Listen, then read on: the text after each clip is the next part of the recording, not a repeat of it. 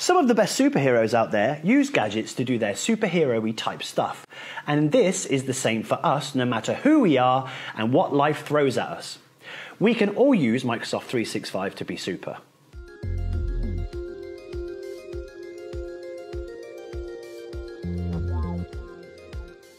Hey everyone, and welcome to Expert Zone UK and I. I'm Matt, and I'm here to show you five awesome accessibility features in Microsoft 365. In this video, we're going to look at five features that are available within 365's premium apps and how they benefit those with accessibility needs, no matter if they are a permanent, a temporary, or a situational one. And also how everyone can use them, granting all that do productive superpowers. So let's get straight into it and look at these superpowered features. Number one, dictate. With premium apps, switch on dictate and rather than typing, you can talk to your desktop. And it will start recording what you are saying, but in text form. Ooh. So if you watch your screen while talking, you will see your desktop magically typing, like the accessibility fairy has taken over. Disclaimer, accessibility fairies aren't real. This is just the power of dictate converting your text to speech. Let me show you how to access it. I'm using Word here, and to switch on Dictate, find the Home tab along the top ribbon, and here you will find Dictate. Now, while you are connected to the internet, switch it on and chat away. This is perfect if you struggle with something like dyslexia, are unable to type, or attempting to multitask, which my wife tells me I cannot do, but with Microsoft 365, I can. Number two, read aloud. With read aloud in Word, Whatever you have written or dictated to your device, Read Aloud will read it back to you, allowing you to hear what is written. This is a great feature for those that struggle to process written text, have partial sight or blindness, or just want to check how a document sounds. You can find this in Word, in the Review tab. Just click Read Aloud and then listen. This can also be found in other premium apps, as well as OneNote and Microsoft Edge in Windows 11. Number 3 Immersive Reader.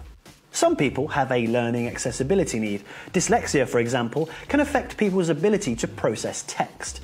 And this means that something as simple as changing the colour of the page can be super helpful with processing all that is on that page. And this is where Immersive Reader comes in.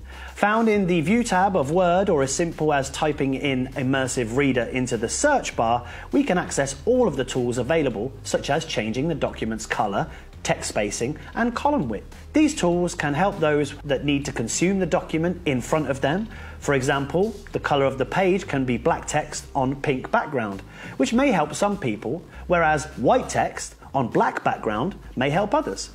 So, with all these choices at your disposal, you too may be able to utilise them to make your viewing experience more comfortable. For example, have you ever got that eye strain headache? I have, and it turns out black on pink helps. Number four, live subtitles. When we talk about accessibility, we don't just mean how it can help you. We are also talking about people that consume the content that you create, whether that be a document, spreadsheet, or a flyer to your next tea party. Yes, I like tea parties, so what? And one of the features that really helped me is live subtitles in PowerPoint.